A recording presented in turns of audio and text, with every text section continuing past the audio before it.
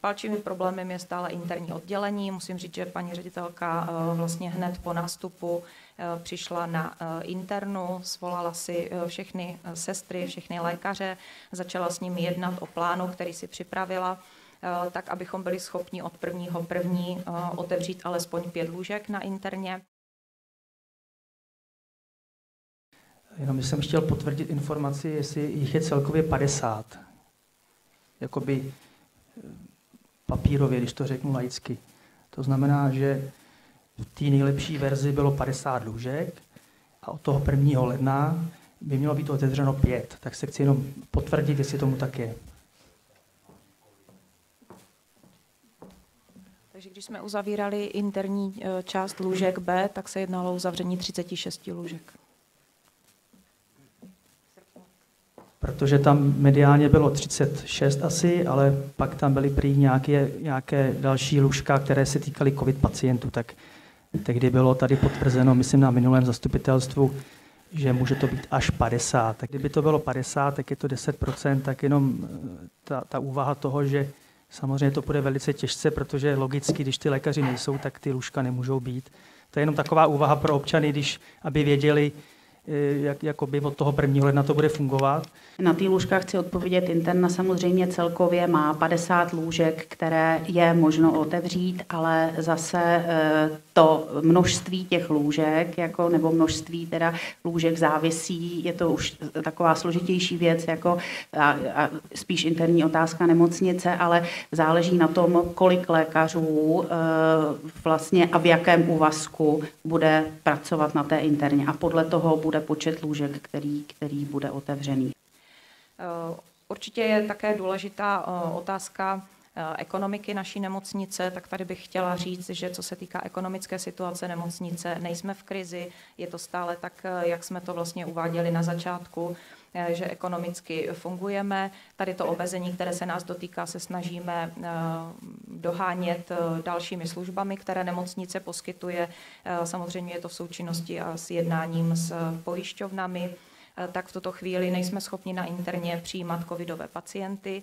Nicméně na každém oddělení je eh, připraveno a vymezeno lůžko pro pacienta, u kterého by byl covid eh, příznak projeven a tito pacienti budou dále překládáni. Paní ředitelka informovala o, o tomto na setkání, krajském setkání všech ředitelů e, nemocnic. Informovala je o tom, že nejsme schopni tyto pacienty u nás v nemocnici mít e, a e, bavila se s nimi o koordinaci právě při odesílání těchto covidových pacientů. Z údajů platných 31.10. vyplývá, že ve středočeském kraji bylo hospitalizováno 60 pacientů s COVID-19. V Čáslavi bylo evidováno 28 nakažených, nikdo eh, podle údajů, které máme k dispozici, nebyl hospitalizovaný. Za ORP je to 47, z toho jeden hospitalizovaný. Eh, pro porovnání s vrcholem pandemie v březnu bylo v Čáslavi nemocných 461 pacientů a v naší nemocnici se pečovalo eh, nejvíce 4. března o 40 pacientů. Věřím, že eh, přijatá opatření eh, zvýšení tempa proočkovanosti obyvatel, do něhož je naše nemocnice eh, zapojená, tak jak o tom hovořila opět paní magistra Šušková, pomůže situaci zvládnout a nemocniční péče v rozsahu jarní zátěže doufejme nebude potřeba, ale určitě to nelze podceňovat. K prvnímu první plánujeme také otevření části ambulancí, což je také problém. Neuzavřeli jsme jenom lůžkovou část interny, ale také ambulance.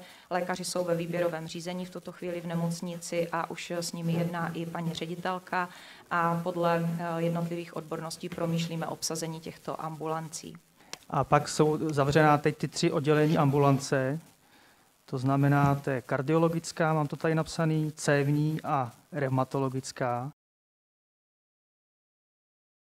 V jakém horizontu vůbec teda ty ambulance se dají otevřít, i ta interna? V jakém horizontu se to dá vrátit na ten původní stav, který byl před prvním zářím? Vím, že to je hodně těžká otázka Asi to tak úplně těžká otázka není, ale samozřejmě v podstatě to bude záviset na tom, jaké lékaře, jaké odbornosti budeme mít, protože aby mohla být otevřena reumatologická ambulance, musí to být eh, lékař ze specializací reumatologie, kardiologická lékař ze specializací kardiologie. Pokud by vás zajímali lékaři, což je asi to eh, nejdůležitější pro doplnění týmu, tak v tuto chvíli musím říct, že oddělení chirurgie máme v plném stavu s tím výhledem, tak jak jsem řekla, že budeme přijímat mezi listopadem a lednem ještě lékaře na toto oddělení. V tomto týdnu už nám přicházejí dva lékaři, se kterými jedná pan eh, primář Bělehrádek o detailech toho, eh, na co se budou zaměřovat eh, po svém nástupu. Jedná se o lékaře na úvazek 1,0, druhého lékaře na 0,6 a ještě jeden lékař na úvazek 1,0 projevil zájem o naši nemocnici. Co se týká oddělení ARO, tak máme nástup lékaře 1,0 úvazek, to znamená na plný úvazek od ledna a další lékař na úvazek 1,0 je v jednání s podobným datem nástupu. Další dva lékaři jsou nyní na dohody v nemocnici, takže nám slouží a zvažují nástup k nám do nemocnice eh, na nějaký větší úvazek, eh, to znamená někde mezi 0,6 a 0,8. Na interně jsou rozjednáni dva lékaři na pozici primáře a další tři lékaři. Eh, tento týden máme jednání ještě s lékařskou L1, což samozřejmě závisí na tom, jak nabereme primáře. Eh, nicméně je to lékařka, která zvažuje eh, stále nástup mezi Prahou a mezi Čáslaví, takže se snažíme jednat tak, aby eh, ten nástup k nám do nemocnice byl pro ní lákavější. V jednání je lékař na rehabilitace, potřebujeme částečný úvazek a na ginekologii, kde máme rozjednány dva lékaře. Zaměstnance motivujeme dále náborovým příspěvkem za pomoc v získání tady těchto lékařů. Co se týká dalších eh, lékařů, protože jsme stále v krizovém řízení, tak eh, za dobu našeho nástupu, to znamená za dobu těch 12 týdnů, kdy eh, v nemocnici pracujeme, jsme získali pomocí eh, nebo ve spolupráci s lékaři v nemocnici, zdravotními sestrami a paní doktorkou Mandákovou, která nám vydatně pomáhala v tomto 16 externistů, kterými jsme zajišťovali služby. Říkám to číslo proto, na, na, tedy na všech odděleních, tak aby jsme fungovali nemocnice jako celek. Říkám to proto, abyste si udělali představu o tom, co to znamená třeba pro týmy sester a pro týmy lékařů, kteří pracují v nemocnici a jak musí velmi flexibilně fungovat eh, s lidmi, kteří přicházejí z vnějšku neznají naši nemocnici a potřebují se do těch týmů dostat. Takže velké poděkování určitě patří jim, že tady tohle to zvládají a máme velmi dobrou zpětnou vazbu od externistů, kteří s námi spolupracují a věřím, že jsou mezi nimi ti, kteří se přikloní k vyšším úvazkům na našich odděleních. Takže pokud hodnotíme období od září do 31.10., tak jsme přijali 8 zdravotních sester, jednoho laboranta, jednoho fyzioterapeuta, Eh, tři THB pracovníky, kterými jsme pouze eh, doplňovali eh, stav v nemocnici, jednoho lékaře na chirurgii na plný úvazek, který nám nastupuje teď v tuto chvíli v čtvrtého už na plný úvazek 1,0 na chirurgii a lékaře na internu na úvazek 0,6. Další nástupy plánujeme v období mezi listopadem a novým rokem. S potěšením musím říct, že je zájem ze strany zdravotních sester a e, to si myslím, že se nám velmi dobře daří doplňovat tady tyto týmy i na oddělení, které byly dlouhodobě pod stavem. E, od nového roku nastoupí staniční sestra na dětské oddělení a další zdravotní sestry. E, teď v tuto chvíli máme v jednání sestru na oddělení HTO, kde řešíme situaci.